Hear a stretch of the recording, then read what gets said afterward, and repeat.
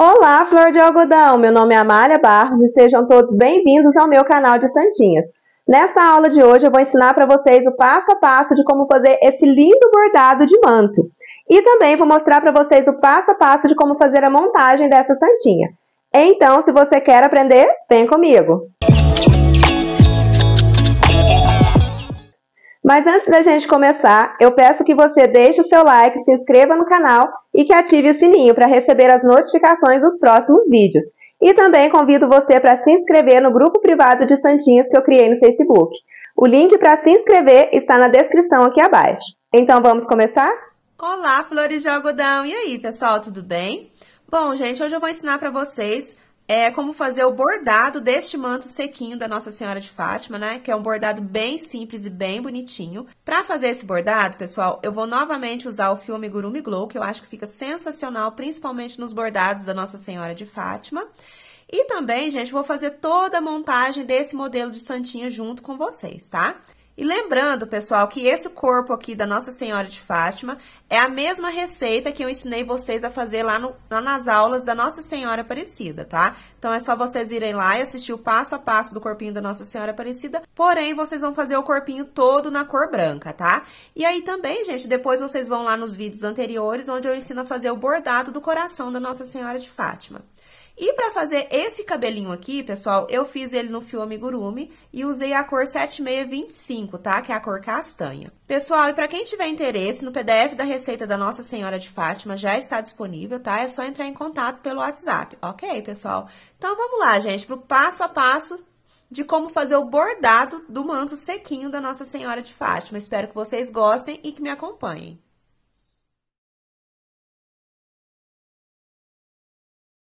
Bom, pessoal, então agora a gente vai fazer o bordado do nosso manto. Essa parte aqui, gente, eu já fiz, né, já trouxe pronta, porque eu já ensinei esse passo a passo aqui nas aulas anteriores, então eu não vou mostrar aqui novamente. Então, aqui, gente, eu fiz a carreira de pontos baixos com fio Encanto Slim, fiz uma carreira de meia pérola e fiz o bordado com fio Amigurumi Glow, tá? Então, ficou assim esse bordado aqui. Você acha aí o passo a passo dele nas aulas anteriores a essa. Então, vamos lá, pessoal. É, eu vou ensinar um bordado diferente, né, nesse manto, como ele é um manto mais estreito. Então, pessoal, eu vou marcar dois dedos desse lado aqui. Vou fazer uma marcação aqui com a minha caneta, caneta mágica da Círculo, tá, gente? A gente consegue apagar é, todos os riscos dela usando o secador quente. É só aplicar o secador quente por cima do manto que tudo some depois, tá? Não precisa ficar preocupada. E vou marcar, pessoal, dois dedos do lado de cá. Então, a gente vai fazer o bordado daqui pra cá, daqui pra cá. Porque na hora que a gente virar ele, pro bordado não ficar pras costas, porque a gente tem que ver ele na parte, na parte da frente da nossa santinha, tá? Então, gente, esse bordado aqui, eu vou fazer ele assim, ó. Vou começar aqui, gente, bem nessa carreira aqui, depois do, do bordado com fio Amigurumi Glow. E vou fazer assim. Vou mostrar pra vocês mais de perto. Ó, vou fazer como se fosse um S, tá? Pra fazer esse S, gente, eu usei uma, duas, três, quatro carreiras. Carreiras assim, né, gente? Aqui tem, na verdade, são oito carreiras, né? Uma, duas, três, quatro, cinco, seis, sete, oito, tá? São quatro blocos, né? Um bloco, dois, três, quatro. Então, eu faço assim. Depois, gente, eu faço o inverso, né? Deixa eu abrir mais aqui o meu S.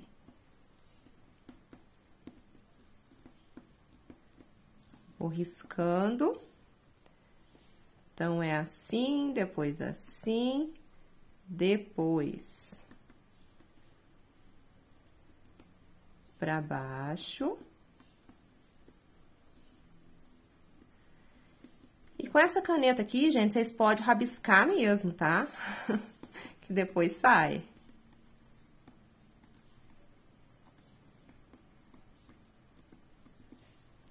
Então, ficou assim, gente, o desenho do bordado, ok?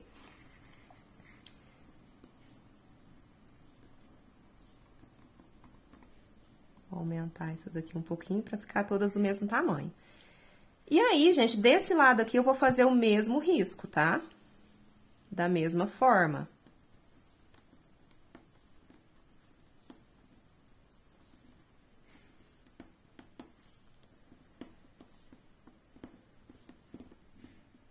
Então, prontinho, pessoal. Olha aqui, ficou bem igualzinho, né? Então, agora nós vamos fazer o bordado com fio Encanto Slim. Bom, pessoal, então vamos lá, né? Vamos iniciar o nosso bordado com fio Encanto Slim. Então, gente, eu vou introduzir a minha agulha aqui, ó. Vou deixar um pedacinho de fio aqui pra arrematar depois, né? E começo, gente, fazendo pontos baixíssimos, né? Pra fazer esse bordado, eu sempre uso a agulha, um, é, a agulha 2,5, tá? Então, vamos lá, pessoal. Vou ponto por ponto aqui, fazendo os meus pontos baixíssimos.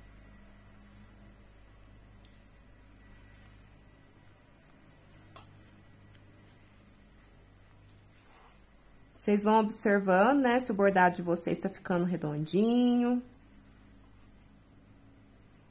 Porque como esse desenho aqui é um desenho bem redondinho, então, quanto mais redondinho ele ficar, mais bonito fica.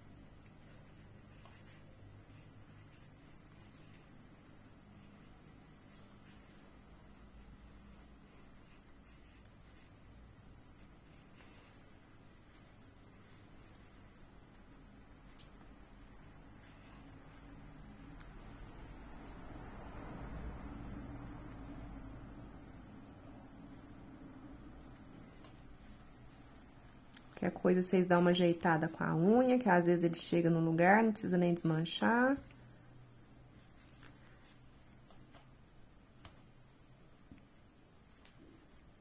Tá?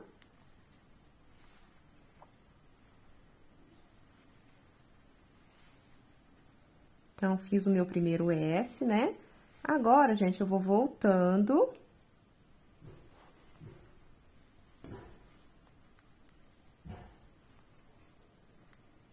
Ixi, meu fio prendeu aqui.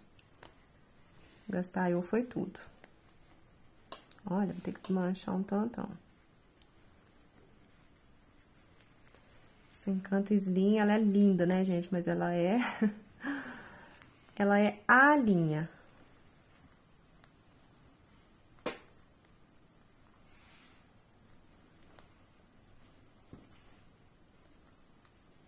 Então, agora, vocês vão descendo o próximo S, né? E aí, gente, se vocês tiverem que sair fora do bordado, vocês saem, tá? O importante é ficar um desenho assim bem bonito. Porque nem sempre a gente precisa seguir a risco o risco da gente. Gente, me perdoa, tá? Tem, tem obra aqui do lado da minha casa e às vezes faz barulho. Não vou editar, não. Olha aqui, gente, como é que tá ficando, ó. Aqui eu tive que sair do risco, pra ficar um S bem do mesmo tamanho, né? Então, isso pode acontecer, tá? Vocês vão riscar, na hora que vocês vão fazer, às vezes vocês têm que sair um pouco do risco, porque senão não, vai, não fica bom, né? Mas o risco, gente, é só pra dar um, um norte, né, pra gente. Então, vamos lá.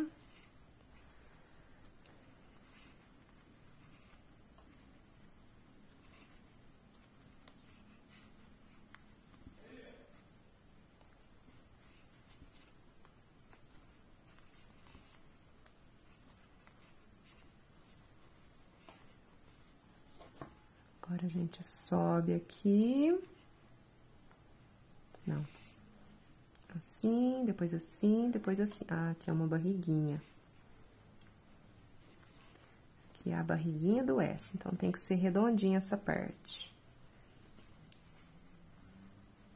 Eu já saí totalmente do risco aqui, gente.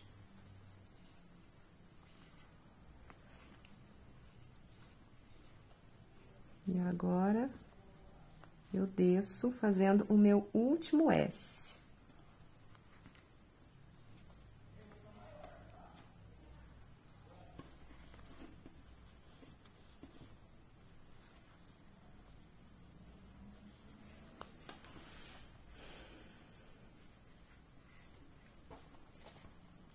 Vou desmanchar aqui, gente, porque eu não gostei, não.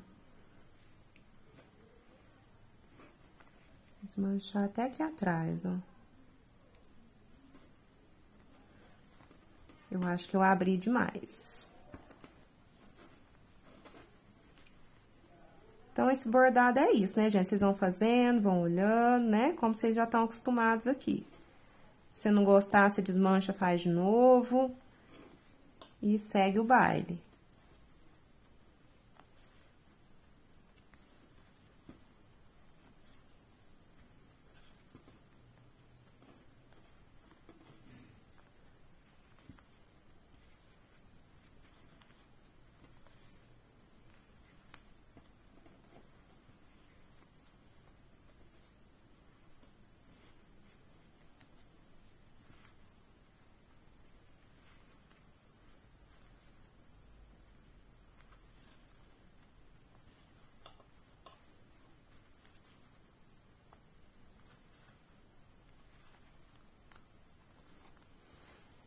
Vamos ver, gente. Não gostei dessa parte aqui, ficou muito estranho. Vou subir ele antes.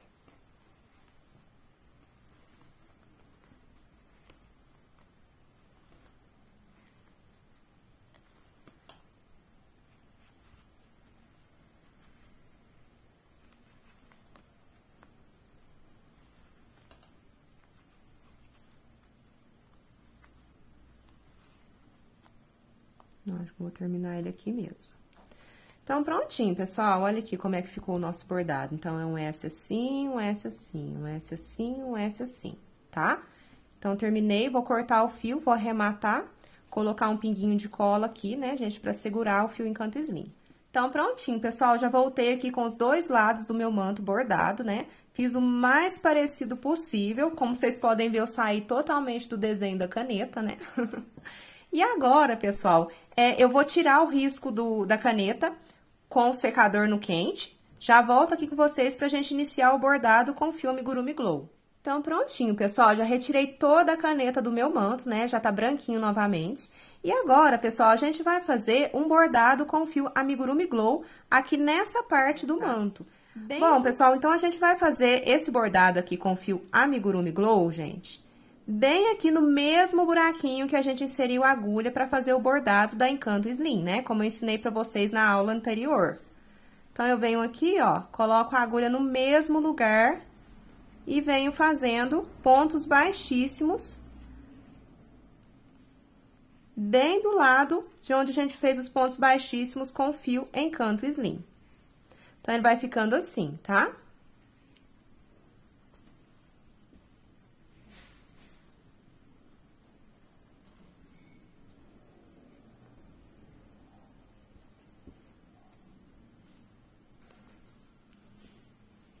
Então, gente, tem que ser assim, no mesmo buraquinho mesmo, tá?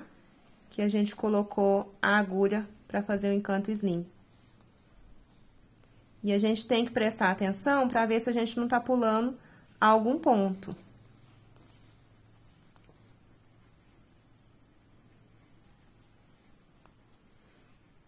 Então, vocês vêm fazendo assim, ponto por ponto.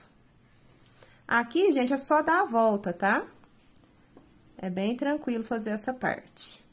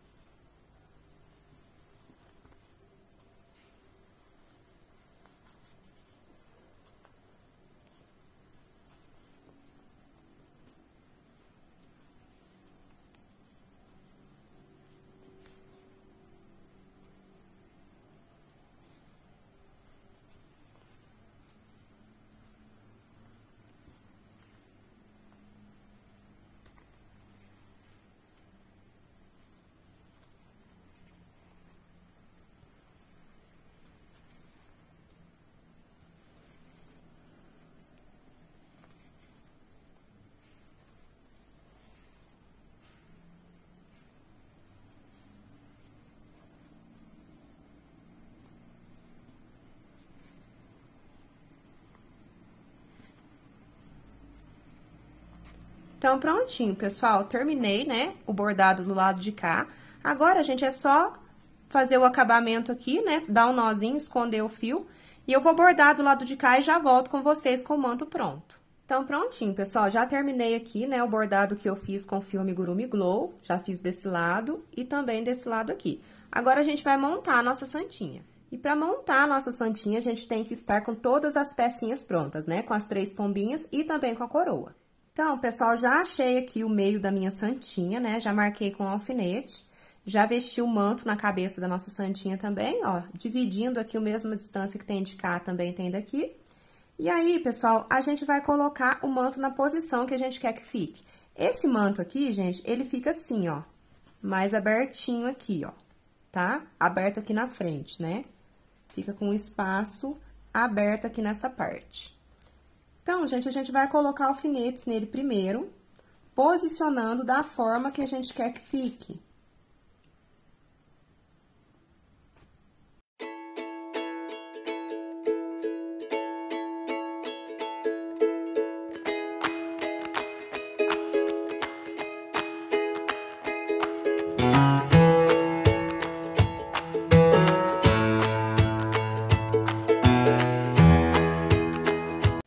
Prontinho, pessoal. Já coloquei os alfinetes aqui, né? Já posicionei.